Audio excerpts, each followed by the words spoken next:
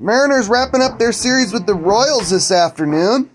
In the top of the first, JP Crawford leads off the game with a solo shot to right center field. That's his second game in a row he's led off the game with a home run. That's his sixth of the year, and the Mariners go up 1 0.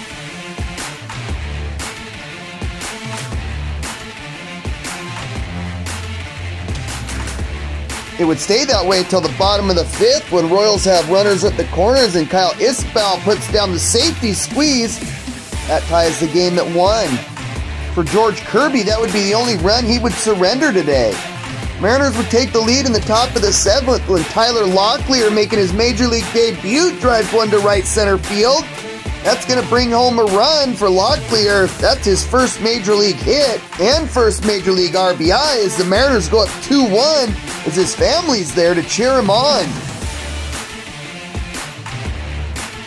Next batter's Josh Rojas, and he sneaks one through the four hole. That's going to bring home Locklear as the Mariners are going to go up 3 1. Mariners would do their best to lose this one today. In the bottom of the ninth, with one on and two out, Baumann gives up a two run shot to MJ Melendez.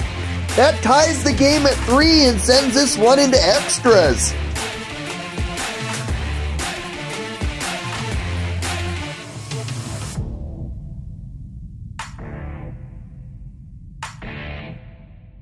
The Mariner offense would come up huge in the top of the 10th with runners on the corners and two outs. It's Julio Rodriguez going the other way. That brings home Rojas as the Mariners take a 4 3 lead.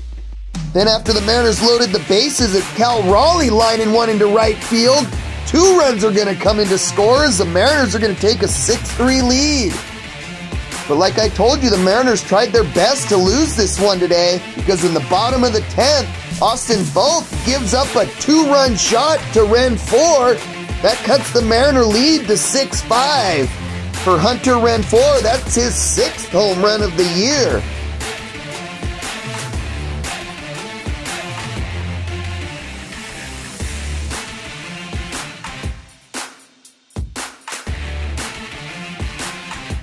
Mariners would turn to Tayler Saucedo to finish things off. And with two out and one on, he gets Vinny Pasquantino to ground out to Bliss at second. That's going to do it.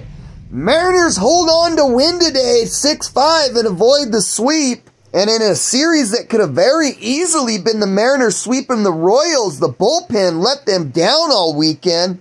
The Mariners now return home for seven games, starting with a four-game series with the White Sox starting Monday at 6.40 p.m.